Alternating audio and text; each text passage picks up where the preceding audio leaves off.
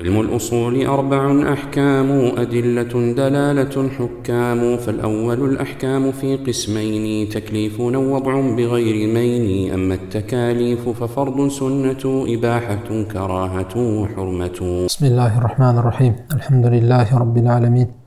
وصلى الله وسلم على رسوله الأمين وعلى آله وأصحابه أجمعين. اللهم أصلح لنا نياتنا وذرياتنا وأحسن ختامنا يا أرحم الراحمين. أما بعد usul fiq darsimizni davom ettiramiz. Biz o'tgan darsimizda mushtahidning mushtahid darajasiga yetish uchun topilishi kerak bo'lgan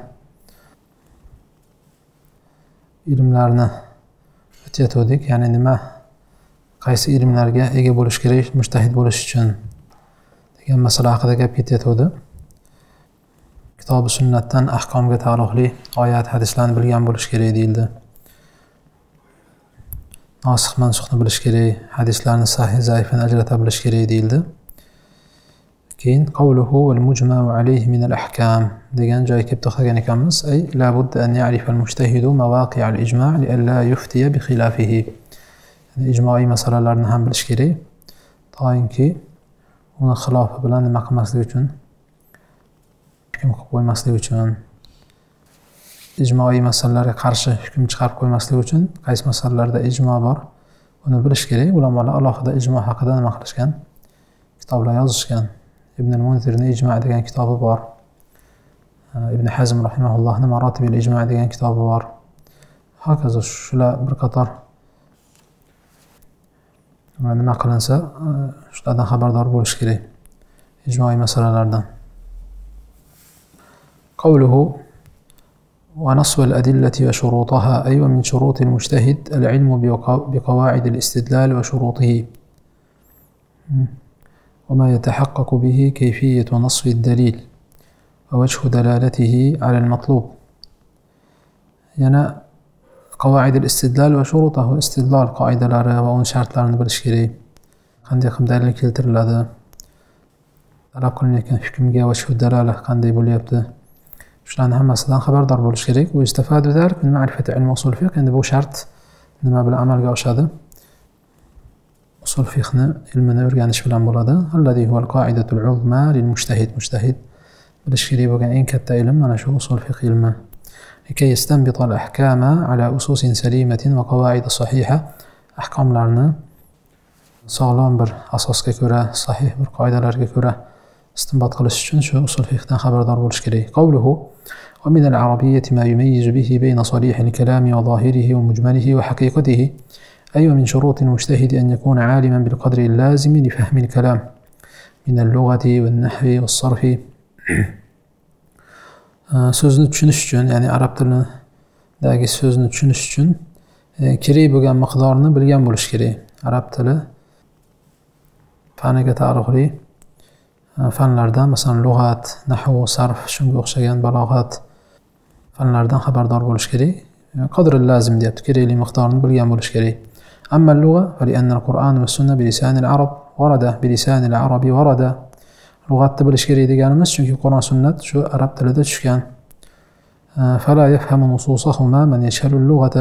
عرب تلن بالمجان كشد شميد قرآن سنتنا. وأما النحو المعاني تختلف باختلاف الإعراب nahvni bilish kerakligi chunki إعرابga qarab gohida ma'no o'zgaradi وأما الصرف فلأن الاشتقاق ومعرفة أصول الكلمات له تأثير على اختلاف الدلالات والمعاني sarfni bilish kerakligiga kelsak chunki ishtiqoqni bilish kalimani asllarini bilishni ma'noga dalolatga nimasi bor ma'nolarni o'zgarishiga ta'siri bor deyapti من معرفة القدر الذي يتعلق بالكتاب والسنة. ya'ni shu arab tilidan xabardor bo'lish kerak deganimiz shu kitob sunnatga taalluqli bo'lgan miqdorini bilish kerak ويستطيع به أن يميز بين صريح الكلام وظاهره ومجمله وحقيقته ومجازه وعامه وخاصه ومطلقه ومقيده وغير ذلك مما يتعلق بدلالات الألفاظ ومواقع الخطاب. demak gapni صريح ya'ni صريح الكلام nas bo'ladida yoki zohiri mujmali haqiqiy majazni orasini ajrata biladigan om bilan xos mutloq bilan muqayyatni ajrata biladigan bir miqdorini bilish kerak deyapti نحو صرف لغة ilmidan boshqa yana balog'a ilmidan ham xabardor bo'lish kerak maani balog'a ilmi uchta fandan iborat ilmul maani ilmu al bayan va ilmul badi shu eng muhimi ilmul maani ikkinchi o'rinda ilm ilmul bayan ammo ilmul badi bu endi so'zni chiroyli qilishga taalluqli bo'lgani uchun uncha muhim emas shuning uchun ikkitasiga balog'adan ikkita fanga alohida urg'u berib la siyama ilmal maani dedi kal xabari va anva'ihi va insha va aqsamihi وما يتعلق بالمسند والمسند إليه من تقديم وتأخير وحذف ونحوها وكذا الإيجاز والإطناب أنا bularni hammasi shu ilmul ma'anida o'rganiladi ثم علم البيان keyin keyingi ikkinchi o'rinda ilmul bayan بلاغات كتعرخ لإيد أردن علم البيان بالأشكري كالتشبيه والحقيقة والمجاز والاستعارة وغير ذلك من مباحث هذا الفن الذي به تدرك أسرار الكلام ومطابقته لمقتضى حال المخاطب يعني ما نشوف هم بلان نما قلنا ده. كابتا جسر أسرار شنو بيطلع ده؟ خاطبنا خالتك مناص مناص مصري بلنا ده وهكذا هذه الشروط التي ذكرها المصنف رحمه الله هي شروط المجتهد مكمن أبو شرطلر مجتهدda مجتهد darajasiga yetish uchun topilishi kerak bo'lgan shartlar أما الشروط التي ترجع إلى المسائل المجتهد فيها فلم يذكرها وأهمها أما اجتهاد qilinmoqchi bo'lgan masalaga taalluqli shartlarga kelsak matn sohibi buni zikr qilmadi lekin eng muhimlarini aytib o'tamiz deyapti shorih to'rtta shartni zikr qiladi ya'ni qanday masalalarda ishtihod qilinadi shuni bayon qilmoqchi ishtihod qilinadigan masalalarda topilishi kerak bo'lgan shartlar birinchi shart أن تكون المسألة غير منصوص أو مجمع عليها. استحط قلنا كم مسألة أشخ دليل ومسألة كريك قرآن سنة يك إجماع قلنا كم مسألة ومسألة كريك. وقد نقل ابن القيم من اتفاق على سقوط الاجتهاد عند ظهور النص. ابن القيم ولما لأن اتفاقنا ناخل خيانلر دليل ترجعنا استحط ساقط ولا شيء دليل ترجعنا كن ما خلاص استحط قلبه دليل نظاهر ناب كم بيرلو ولا استحط كورن كاميدة خد سوق يستهيا من باطل بجندك نص يعني ترياندر اشتهاد كورنيوك كينش شرط أن يكون النص الوارد في المسألة إن ورد فيها نص محتملا قابلا للتأويل كقوله صلى الله عليه وسلم لا يصلين أحدكم العصر إلا في بني قريضة النص الوارد في المسألة. مسألة ما بعد نص وسا. اشتهاد قلنا كان مسألة دليل وسا. محتملا قابلا للتأويل احتمال بار بغان يعني دلالة جهة احتمال لي بغان دليل بولش toinki nima qilish uchun? Ishtihod bilish uchun. Lekin subuti ham qat'iy bo'lsa dalolati ham qat'iy bo'lsa yuqorida aytganimizdek birinchiga tushib qoladi. Birinchi masaladek nas bo'lgandan keyin nima qilinmaydi? Ishtihod qilinmaydi. Lekin nas boru dalolat qat'iy bo'lmasa unda nima qilinadi? Ishtihodga o'rin bor. Tavil qilish ehtimoli bo'lgan e, nas bo'lsa ishtihod qilinadi unda. Masalan qavlihi sollallohu alayhi vasallam la yusalliyanna ahadukumul asra illa fi bani qurayza. sizlardan birortangiz asrni banu qurayzaga yetmay o'qimasin dedilar nabiy sallallohu alayhi vasallam sahobalarga demak mana bu hadis haqiqatdan nas bo'lishiga qaramasdan lekin nima ishtihodga o'rin bo'lgan ehtimolli ehtimolli bo'lgan hadislardan shuning uchun sahobalar ham uni tushunishda ixtilof qilishdi faqat fahima ba'du sahabati roziyallohu anhum min hada النص ظاهره من الأمر بصلاة العصر في بني قريظة ولو بعد وقتها ba'zi sahobalar mana shu hadisdan zohirini olib vaqti chiqib ketsa ham bani qurayzaga borib o'qishimiz kerak ekan degan narsani tushunishdi وفهم آخرون من النص الحث على المسارعة في السير مع تأدية الصلاة في وقتها boshqalar esa ma'noga qarashdi maqsad bizni shoshirish rasululloh sallallohu alayhi vasallam bizni shoshirmoqchi bo'ldilar lekin vaqt chiqib ketsa ham aslini borib bu yoqda o'qish o'qishimizni xohlamaganlar iroda qilmaganlar deyishdi. Sollallohu alayhi vasallam ala ahadin min al-fariqayn ma fahim nabiy sallallohu alayhi vasallam ikkala toifaga ham tushungan tushunchasini nima qilmadilar. Inkor qilmadilar biror bir toifaga qilgan ishiga koyimadilar demak mana bu ehtimoli bor bo'lgan nas mana bunday noslardan ishtihod qilsa bo'ladi. Uchinchi sharti ishtihod qilinmoqchi bo'lgan masala aqidaviy masalalar bo'lmasligi kerak chunki aqidaviy masalalar tavqifiy ishtihodga o'rin yo'q وقد نقل ابن عبد البر الإجماع على ذلك يعني توقيفي كان ليجا إجماع نقل خيان ولهذا لا يجوز اجتهادا اشتقاق الأسماء الحسنى من صفات الأفعال كالرضا والسخط والغضب والمكر ونحو ذلك shuning uchun ishtihod qilib fe'llardan rozi bo'lish g'azab qilish makr shunga o'xshagan alloh taoloni fe'llaridan nima qilib bo'lmaydi? Ism ishtiqoq qilib bo'lmaydi ishtiqot yo'li bilan. To'rtinchi sharti ishtiqot qilinayotgan masala navazil bo'lgan masala bo'lishi kerak. Navazil degani ya'ni sodir bo'lgan masalalardan bo'lishi kerak. أو مما يمكن وقوعه في الغالب والحاجة إليه ما سيكي غالبا احتمال بار. يكي منا شو مثلا آه، صادر بولش احتمال بار. فاحتياج كتاب أنا بلش كا حالة صادر بوما جنب سيم صادر بولش احتمال بار بولش كده. أما استعمال الرأي قبل الواقعة والاشتغال بما لا يمكن فقد كرهه جمهور أهل العلم. أما الواقعة صادر بولش دان ألدن ونا من بالمحسوب اشتخاط قلش ها؟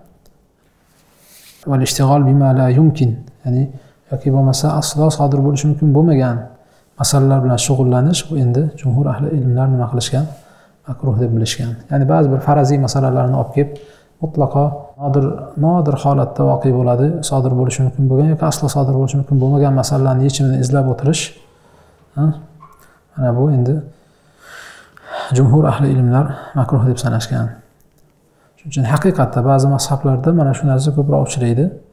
Ya'ni masalan shunaqa tasavvur qiladiki e, hukmni aytadi e, u masalani tasavvur qilsa o'zi yo bo'ladi yo bo'lmaydi. Yo tasavvur qilinmaydigan holat bo'ladi. Shu narsalarni masalan ko'paytirish yoki ko'p nima qilish yaxshi emas deyishadi ulamolar. Chunki ishtihod bu xato qilish ehtimoli bor bo'lgan narsa bo'lgandan keyin ochiq nas bo'lmagandan keyin zarurat paytidagina ruxsat bo'ladi deb qarashgan ulamolar.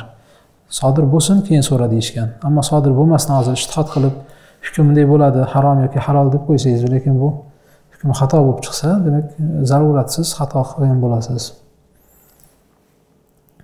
قوله فإن علم ذلك في مسألة بعينها كان مجتهدا فيها وإن لم يعرف غيرها endi alima zalika fi masalatin biayniha deyapti bitta ma'lum bir muayyan bir masalani o'zida mana shu narsalarni bilsa ya'ni yuqoridagi shartlar hamma masalalarda emas bitta masalada muayyan bir masalada shu masalani to'liq o'rgandi. Shu masalaga taalluqli oyatlarni mansux bo'lgani yo nosih bo'lgani masalan va hokazo shunga taalluqli nimalarni o'rganib chiqsa kana mushtahidan fiha deyapti. O'sha masalada mushtahid bo'ladi. Va ilm ya'rif g'ayraha undan boshqa masaladan bexabar bo'lsa ham.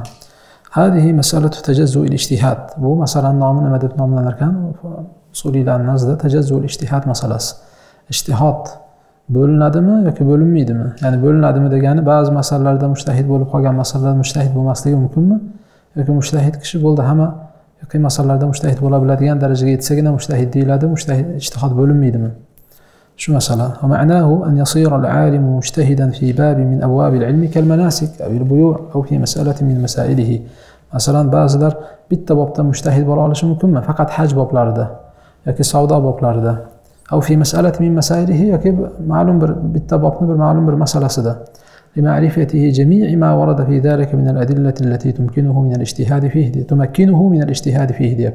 çünkü bana شو baptaki وارد bugün hem dalillerini bilade. tumakkinuhu minal fi. Mana shu bobda ijtihod qilishlikka imkon bo'ladigan darajada dalillarni hammasini jamlagan. Duna adillati ghayrihi min al-abwab lekin qolgan boblardagi dalillarni bilmasligi mumkin. Qolgan dalillardagi boblardagi masalalarni bilmasligi mumkin. Ho'p bu mana shu masala tasavvur masala shu. Fal aktharun ala jawazi tajazzuil ijtihad. Masalan buni ham odatda faroiz bobini misol keltirishadi. Bir kishi fihda uncha kuchli bo'lmasa ham lekin ayni faroiz bobida mushtahid bo'lsa bo'lishi mumkinmi faqat faroizga taalluqli hamma masalalarni dalillarni bilib fihni bir bobi faroiz fihni bir bobi ya'ni alohida ilm emas demak faroizni o'zida mushtahid bo'lishi mumkinmi yo'qmi mana shu masala فالأكثرون على جواز تجزؤ الاجتهاد أكثر علماء جائز ديشكان وأن له أن يجتهد بمعرفة ما يتعلق بمسألة وإن جهل ما لا تعلق له به من بقية المسائل الفقهية qolgan masalalardan xabardor bexabar bo'lsa ham ma'lum bir masalada ijtihod qilishi mumkin إذ لو لم يتجزأ الاجتهاد للزم أن يكون المجتهد عالما بجميع المسائل حكما ودليلا ديت yo'q ishtihod tajazzul ishtihod joiz emas desak unda mushtahid mushtahid bo'lish uchun hamma masalalarni hukmini dalilini bilish kerak deganimiz kelib chiqadi lekin bu lozim nima topilmaydi voqiul mushtahidin yadullu ala zalik mushtahidlarni voqea shunga dalolat qiladi ya'ni hamma masalalarni hukmini dalillarni biladigan mushtahidlar kam demoqchi فإن كثيرا منهم يسأل عن مسائل فيجيب في بعضها دون الآخر har qanday mushtahidni olib qaramang o'sha hatto imom moliklarni olib qaramang mazhab boshliq bo'lishiga qaramasdan juda ham ko'p la adri degan so'zni ko'p aytardilar deydi biron bir olimdan ya'ni shu imom molikchalik naql qilinmagan la adri degan nima? Ko'p masalalarda so'ralsa la adri deydi. Demak boshqa masalada fatvosi o'tyaptiku e'tiborga olinyaptiku. Qancha masalada javob bera olmasa ham lekin ba'zi masalalarda javob bera bilishligidan mushtahidlarni voqeligidan nimani olamiz? Tajazzul ishtihod mumkinligini olamiz. Yo'q sen boshqa masalada ham fatvo bermaysan toki o'sha bilmayman degan masalangni bilmaguncha boshqa masalada ham fatvo berma demaganda hech kim. Tushunarlimi demak mana shundan kelib chiqib nima deyishadi?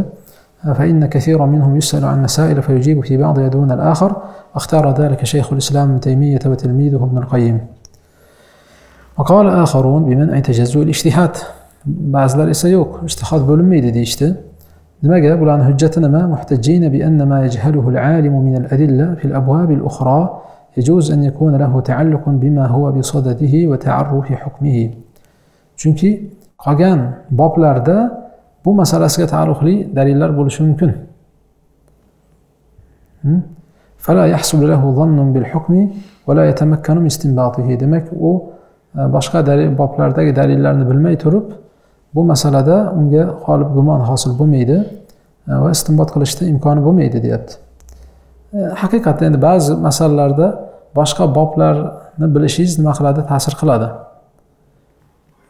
Gohida ma'lum bir bobdagi masalani boshqa bir bobdagi masalani tasavvur qilganingizdan keyingina tasavvur qilasiz. Gohida masalani tasavvur qilishda bir biriga aloqasi bo'lishi mumkin. Gohida esa masalan o'sha siz ijtihod turgan bobdagi masalani boshqa bir bobdagi masalaga qiyos qiladi. Siz u masaladan bexabar bo'lsangiz umuman aslo xabaringiz bo'lmasa u qiyosni botil yoki yo'qligini bilolmaysizda. Chunki u bu farni o'sha aslga qiyos qilayotgan bo'lsa siz u asldagi hukmdan bexabarsiz. U mujma alayhimi muxtalafihimi e, undagi illat masalan. ittifoq qilinganmi ixtilof qilingan illatmi hozir bu farni siz mushtahidman degan emas bobdagi masaladagi o'sha far qiyos qilinayotgan masala. Bunga hozir qiyos qila bilamiz yo'qmi? Baribir uni bilishingiz kerak. Qiyos qilinayotgan asl masalani ham bilishingiz kerak deyishadi. Va hokazo demak endi to'g'ri ba'zi masalalarda haqiqatda nima bo'lishi mumkin? Taalluqli bo'lishi mumkin. Hamma masalalarda emas. Lekin avvalgisi kuchliroq deyapti. لقوة مأخذه يعني تجزو الاجتهاد جائز دمغش وما ذكره المانعون بعيد الاعتبار ديبت. ما كان لنا ذكر خيان دليل وزاخ ديبت. ولو تم ذلك وصح اعتباره لكان كل مجتهد مجتهدا في جميع الأبواب والمسائل. أجار هنا صحيح ده باعتبار قسيك. هر قند مجتهد هم باب لرده هم مسال لرده مجتهد كان ده ديگه نرسه كيف چخده va tasaval mushtahiduna jamian fi ijtihadihim va hamma mushtahidlar ijtihodida barobar ekan degan narsa kelib chiqadi. Hada botil bu botil mushtahidlar bir biridan farqli ilm jihatdan fahm jihatdan farqli bo'lishiga qaramasdan hammasi mushtahid deyilyapti. Biri bilganni biri bilmaydi. Va hokazo. Lekin ular aytgandek hamma masalani hukmini dalilini bilsa keyin mushtahid bo'ladi desangiz mushtahid deb aytilgan kishilarni hammasi demak barobar ekan degani. Bu ham hamma masalani biladi bu ham hamma masalani biladi dalil bilan biladi degan narsa kelib chiqadi. Voqelikda esa unday emas. Mushtahidlarni orasida farq bor tafovut bor demoqchi. Allohu alam tajazul ishtahid joiz emas deganlar ham hamma masalani bilish kerak demaydi. Lekin maqsadi hamma bobdan xabardor bo'lish kerak deydi. Chunki ba'zi boblardagi masalani bilish uchun boshqa bobga aloqasi bo'ladi. Uni siz bilmay turib bitta haqiqatda masalan fanlarni olib qarasangiz shunaqa shariat fanlari haqiqatda shunaqa. Hozir men faqat fihda mutaxassis bo'laman boshqa fanlardan xabarim yo'q ishim yo'q desangiz. Fihda keltirilgan dalillar masalan usul fihda mutlaq xabaringiz bo'lmay fihda hech qachon mutaxassis bo'lolmaysiz. Xuddi shunday keltirilgan oyatlar keltirilgan oyatlar dalil keltiriladi. Yoki bo'lmasa hadisdan keltiriladi. To bu hadis keltirilgan hadis sahih zaifligini bilmasangiz ya'ni mustalahdan xabaringiz bo'lmasa baribir mutaxassis deb aytilmaydida. Va hokazo. Demak fanlar bir biriga bog'liq. Fanlar bir biriga bog'liq. Ya'ni o'sha e, shuning uchun ba'zi ulamolar aytgandek xud min kulli shayin shay va min shayin kulla shay degan. Xud min kulli shayin shay degani har bitta fandan bitta bo'lsa ham kitob o'qing xabar xabaringiz bo'lsin. Va min shayin kulla shay keyin bitta fanni olingda shuni oxirigacha olib borishga harakat qiling. E, lekin hech narsani hammasini surib qo'yib bitta fanni oxirigacha olib boraman o'zi oxiriga yetib borolmaysiz chunki qolganlarga bog'liq joyi bor uni. Mumkin emas u. Baribir qayerdadir oqsab ancha joyda oqsab qolaverasiz. Shuning uchun e, ular ham shu shu maqsadda aytgan. Hamma masalani bilish kerak demaydi ular ham. Maqsadi boblardan xabardor bo'lish kerak. Masalan bitta faroizni bilaman desangizu lekin gohida o'sha faroiz bo'lsa ham lekin boshqa qaysidir masalaga gohida qiyosdan boshqa nima bo'lmaydi dalil bo'lmaydi. Qiyos esa boshqa aslga boshqa bobdagi bir aslga baribir nima qilinadi? Qiyos qilinadi. To'y bu bobdagi masaladan xabaringiz bo'lmasa masalan uni ijmo qilinganmi ixtilof qilinganmi? Ijmo qilingan masala bo'lsa muammo yo'q. Lekin ijmo qilinmagan bo'lsa kelib turib ixtilofli qilingan masalaga nima qilib tursangiz qiyos qilib tursangiz اصل قياس مختلف فيه هنا مختلف فيه. كا قيتر يبسان دي لادا وهكذا. قال خبر دار بولش مقصد شو عند ولانا؟ طيب قوله هو يجوز التعبد بالاجتهاد في زمن النبي صلى الله عليه وسلم للغائب والحاضر بإذنه. نبي صلى الله عليه وسلم زمان سده غائب بغان كشلال اتنهم hozir bo'lganlar ham rasulullohning izni bilan nima ishtihod qilishlik joiz deyapti. Taabbud degani ya'ni shu narsa ibodat yuzasidan shunga ijtihod qilinishi joizmidi joiz emasmi degan masala. Ixtilof ulama fi hukm ijtihadi sahabati roziyallohu anhu fi zamanihi sollallohu alayhi vasallam hal yajuzu am la? Rasululloh sollallohu alayhi vasallam zamonlarida ya'ni rasululloh sallallohu alayhi vasallam tirik bo'la turib sahobalarni ijtihod qilishi joizmidi yoki yo'qmidi? برقانجا سوز لاربار مسألة الأول أنه يجوز مطلقا أي للغائب الحاضر بإذنه ومعنى بإذنه أي إن النبي صلى الله عليه وسلم يأمر هذا الصحابي بالاجتهاد وهذا مذهب الأكثر واختيار شيخ الإسلام ابن تيمية جده مجد مجد الدين أبي البركات هذا مكبرين تسوز مطلقا جائز ديشته غائب بوغانك sahobiy rasululloh sollallohu alayhi vasallamni oldida huzurlarida bo'lmagan sahobiy ishtihod qilsa bo'ladi hozir bo'lgani ham rasulullohning izni bilan ishtihod qilsa bo'ladi deyishdi ودليل هذا ما ثبت أن النبي صلى الله عليه وسلم رضي بتحكيم سعد بن معاذ رضي الله عنه في بني قريظة سعد بن معاذن بني قريظة nima hakam qilishga rozi bo'ldilar rasululloh sollallohu alayhi vasallam bo'la turib hukm qilib chiqardilar hukm bu tarafdagi zotga ham o'tadimi dedilar ya'ni rasulullohga ham o'tadimi degani deb nima odob yuzasidan sad so'raydilar demak rasululloh bo'la turib nima qildilar ishtihod qildilar ثم لما حكم بقتل رجالهم وسبي ذراريهم بالرأي أقره النبي صلى الله عليه وسلم النبي صلى الله عليه وسلم كان اشتهط إقرار وقال وقال له لقد حكمت فيهم بحكم الله الذي حكم به من فوق سبع سماوات ya'ni chiqargan hukming allohni hukmiga muvofiq hukm bo'ldi deb ma'qullaganlar كما يشهد لوقوع الاجتهاد من الصحابة ما كان من عمرو بن العاص رضي الله عنه وكان على رأس جيش bu endi g'oyib bo'lgan sahobalarni ishtihod qilishiga misol amr ibn al-as roziyallohu anhudan kelgan qissa وكان على رأس جيش في غزوة ذات السلاسل ذات السلاسل غزوتida qo'mondon bo'lganlar فأصابته جنابة في ليلة باردة شديدة البرودة فرأى أن البرد قاتله. إن اغتسل فتيمم وصلى بأصحابه الصبح وقال إن الله سبحانه وتعالى يقول ولا تقتلوا أنفسكم. فلما حضروا من سفرهم عرض ذلك على النبي صلى الله عليه وسلم قال فضحك رسول الله صلى الله عليه وسلم ولم يقل شيئا.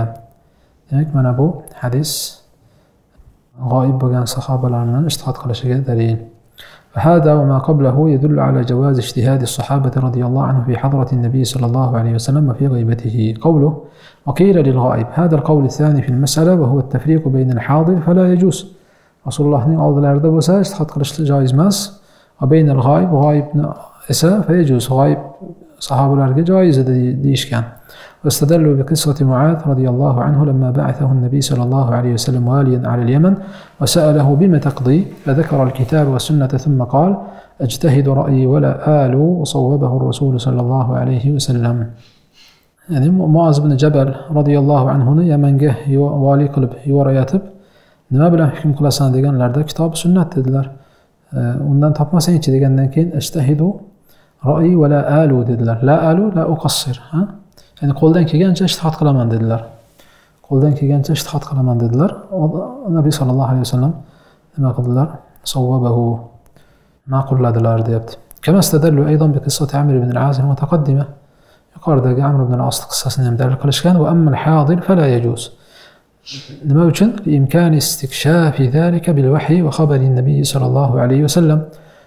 chunki rasululloh sollallohu alayhi vasallamdan bilishni imkoni bor bilishni imkoni bo'lib turib nimaga ishtihod qiladi xuddi bu nimaga o'xshaydi yuqorida nimani o'tdik biz ishtihod qilinadigan masalada topilishi kerak bo'lgan shart nas turganda ishtihod qilinmaydi deganga o'xshash bo'ladi bu deyishdi لأنه بين ظهرانيهم فاجتهاد الصحابي ظن والوحي علم deyishdi bu zon sahobani ishtihodi lekin rasululloh sollallohu alayhi vasallam أرقلي وحي بلان بو أنا قيدم جايجا بولش مزمكن ديجت فهو عدول من العلم إلى الظن وهذا غير جائز لأنه تهاون بالأحكام ديجت الظاهر هو الجواز مطلقا جائز ديجا كشلي راح دياب تشاره أي سواء كان ذلك في حضرته أو غيبته وذلك لوقوعه وهو أبلغ دليل. أنا شو الوقوع أبلغ دليل ديش هذا قايد أبو مضام كواقي بو جائز دي كذا جائز بو مسا واقي بو مست أصلاً لكن إن كان صوابا وعلم النبي صلى الله عليه وسلم به وأقره ثبت حكمه. النبي صلى الله عليه وسلم يعني صحابة اجتخاد طور بولب رسول الله صلى الله عليه وسلم خبر طبب إقرار قصلر بولد حكم صابت ولد إقرار جهت دا صابت ولد. وإن كان غير صواب في حضرته نبه على خطئه. طيب ناطور حكم قصلر البتة به بردلر وإن كان في غيبته ولم يعلمه فهو محتمل آخر عند رسول الله صلى الله عليه وسلم huzurida emas nima g'ayb holatda bo'lsa ya'ni rasululloh sollallohu alayhi vasallamdan uzoqda bo'lgan holatda hukm chiqargan bo'lsa va rasululloh sollallohu alayhi vasallam bexabar bo'lgan bo'lsalar bu ishtihoddan bu endi ehtimoli bor kay ijtihadin axir to'g'ri bo'lgan bo'lish yoki xato bo'lgan bo'lish ehtimoli bor وقد ذكر الرازي أن الخلاف في هذه المسألة لا ثمرة له في الفقه رازي مثلا نسم رسيو دي كانر لماذا؟ لأن اجتهاد الصحابي إن أقره النبي صلى الله عليه وسلم كان حجة وشرعا في السنة التقليدية لا باجتهاد الصحابي. إن رسول الله صلى الله عليه وسلم أرد اجتهاد قلن جنبسا رسول الله إقرار بلا سنة تقليدية اعتبار بلا حجة ولد. وإن لم يبلغه صار حكمه حكم قول الصحابي المختلف في حجيته. يتبرمج جنبسا صحابي اجتهاده rasululloh sollallohu alayhi vasallamga bu sahobiyni so'zi hujjatmi yo'qmi degan masalaga qaytadi demak buni nimasi yo'q alohida zikr qilishda bu masalani hojati yo'q deganlar قوله أن يكون هو متعبدا به فيما لا وحي فيه هذا معتوف على ما قبله أي ويجوز أن يكون هو أي النبي صلى الله عليه وسلم متعبدا به أي بالاجتهاد فيما لا وحي فيه أي لا نص فيه وهذا تقييد للمسألة demak rasululloh sollallohu alayhi vasallamning o'zlari ishtihod qilishni hukmi nima ishtihod qilganlarmi yo har bitta aytgan masalasini vahiy bilan aytganlarmi yo ishtihod ham qilganmi rasululloh sollallohu alayhi vasallam shu masala nas bo'lmagan masalada ishtihod qilganlar deyapti ya'ni hada taqidun lil masala degani mutlaqo ishtihod qilmaganlar balki nas yo'q bo'lgan masalada ochiq dalil yo'q bo'lgan masalada ishtihod qilganlar وذلك أن ما فيه نص لا يجوز للنبي صلى الله عليه وسلم أن يجتهد فيه بخلاف النص chunki nas bo'la turib nasga xilof ishtihod qilish mumkin emas rasululloh sollallohu alayhi vasallam qavlihi taala ittabi ma uhiya ilayk oyatiga ko'ra أما ما لا نص فيه فهل هو متعبد بالاجتهاد فيه أما yo'q bo'lgan masalada ishtihod qilganmilar يعلم أن محل الخلاف هو الاجتهاد في الأحكام الشرعية فيما لا نص فيه خلاف o'rni tahrir محل النزاع zikr qilyaptilar xilof o'rni shar'iy ahkomlarda ochiq nas bo'lmagan shar'iy ahkomlarda ishtihod qilganmilar yoki yo'qmilar mana shu masala وأما اجتهاده في الأقضية والمصالح الدنيوية وتدابير الحروب ونحوها فقد اتفق العلماء على أنه يجوز له الاجتهاد فيها أما hukm chiqarish yoki dunyoviy masalalarda jangga taalluqli bo'lgan tadbirlarda va hokazo mana bu masalalarda ishtihod qilganliklarida shak shubha yo'q ulamolar ittifoq qilishgan bu Masalalarda rasululloh alayhi ishtihod qilishligi joiz va bo'lgan deyishadi lekin shar'iy masalalarda shar'iy ahkomlarda nas bo'lmagan shar'iy ahkomlarda ham ishtihod qilganmilar yo'qmilar mana shu nimada xilof bor فالقول الأول في المسألة هو ما ذكره المصنف من أنه يجوز الاجتهاد للرسول صلى الله عليه وسلم فيما لا نص فيه وهو قول الأئمة مالك والشافعي وأحمد وأكثر الحنفية demak أكثر علماء رسول الله صلى الله عليه وسلم اشتهاد قرشلار جائز ديش كان ومن أدلة هذا القول أنه صلى الله عليه وسلم قال في شأن حرمة مكة لا يختلى خلاها ولا يعضد شجرها فلما قال له عمه العباس رضي الله عنه إلا الإذخر قال إلا الإذخر فرجوعه صلى الله عليه وسلم لقول العباس دليل على أنه قال ذلك باجتهاده إذ لو كان بوحي لما تغيره إلا الإذخر degan istisnoni abbos roziyallohu anhuni gaplaridan keyin istisno qildilar. Demak ishtihat bilan mahganligini belgisi bu. Agar vahiy bilan bo'lganda edi ishtihat qilishga haqqi yo'q bo'lardi deyishadi. Zohiri biron bir nima vahiy kelganligi alomati yo'q dedi shuning uchun e, zohiri o'zini ishtihat bilan aytganliklariga dalil deyishgan. قوله وقيل لا هذا القول الثاني وهو أنه لا يجوز له الاجتهاد وإليه ذهب بعض الحنابلة وبعض الشافعية وذلك لإمكان نزول الوحي والحكم بالقواطع من الأحكام.